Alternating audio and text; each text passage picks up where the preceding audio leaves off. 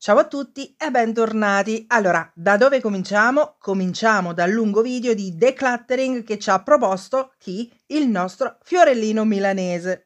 33 minuti di questo lo tengo perché è puccioso, quest'altro lo tengo perché non l'ho mai aperto, questo lo tengo perché è carino. E quindi, per farla breve, ha buttato via solo un balsamo per le labbra e qualche ombretto essence. In pratica ha tenuto tutto. Poi, sempre della coppia milanese, abbiamo un vlog che funge da spartiacque tra cosa? Tra quella che era la peccaminosa a livello alimentare e sedentaria vita prima del diabete e lo stile di vita odierno, fatto di alimentazione sana, sport estremi, esercizio spirituale e fisico. E non a caso si sono recati da Decathlon, che altro non è che il tempio dello sportivo. Bene, Andiamo più nel dettaglio. Il tutto inizia dal parcheggio del Decathlon di Rozzano. I nostri due assi dello sport si sono recati lì per informarsi sui costi di attrezzature sportive, tipo che, eh, tipo cyclette,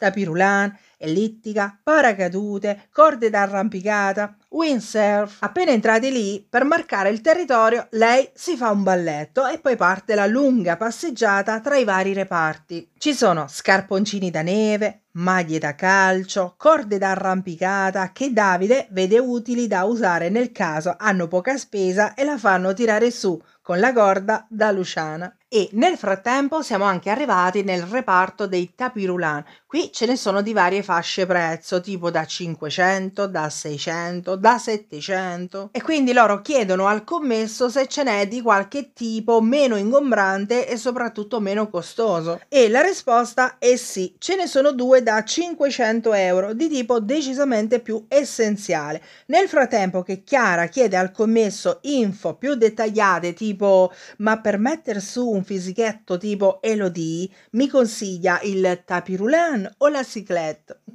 Davide si porta avanti col lavoro e dove va? Va a dare un'occhiata alle cyclette. Ne ha adocchiata qualcuna ma non è convintissimo. Mi sembra più propenso all'acquisto di un tappetino su cui fare gli addominali.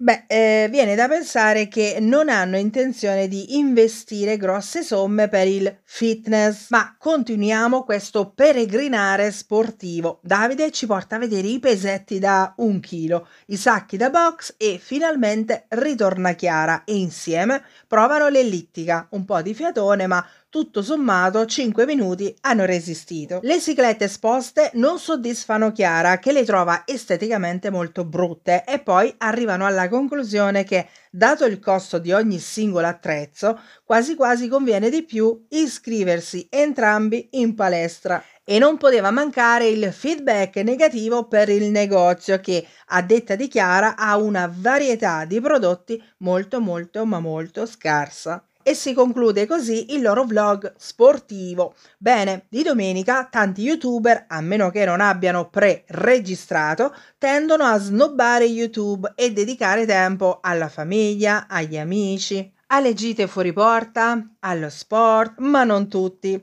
Quelli più sfaccendati timbrano il cartellino anche di domenica, tipo chi? Tipo la dama, che alle 9 di domenica mattina era già in live con il suo argomento preferito, spiare e criticare la VIP milanese. Annuncia una live breve perché ha tanto da fare, ma poi ci sta quasi un'ora e mezza in streaming. Invidia galoppante che maschera con risate fintissime bellissime e poi al solito mi hanno mandato lo screen, mi hanno raccontato, io non guardo i loro contenuti, poi succede qualcosa di strano, di molto molto strano. Perché mentre blatera in live urla a Calogero Dove sei Calò? E lui risponde In bagno. E lei un'altra volta? E lui È la prima volta. E lei Ah! Passa qualche minuto, ma lei ritorna a chiamarlo. Calo, sei ancora lì? E lui sì. E lei, che stai facendo? E lui, mi sto lavando le mani. E lei, ah, ok. Cioè, ora va bene tutto, ma vi pare normale che quest'uomo deve andare al bagno col cronometro? Sincerata delle manovre igieniche e sanitarie di Calogero, torna ad occuparsi di Chiara e del fatto che ha i cosmetici nel cassetto dell'armadio. Ora, non per dire, ma detto da una che postò la foto del tecnico seduto nel salone con alle spalle uno stendino appoggiato alla cristalliera e un pozzetto raccattato chissà dove, che è tutto dire, però le fa specie avere i cosmetici nei cassetti in camera, ok? Poi un'altra cosa che stupisce la sorianese è il disordine. E anche qui tiratina di orecchie perché un paio di giorni fa la medium ha postato la foto dei suoi 11 gatti che mangiavano da due piattini posti sul pavimento, un pavimento che appariva decisamente poco pulito. Pertanto non si può essere accomodanti con le proprie pecche e puntare il dito verso gli altri. Bisognerebbe, prima di criticare gli altri, guardare in casa propria. E poi sai quante live in meno? Poi continua con le sue analisi strampalate, basate sul nulla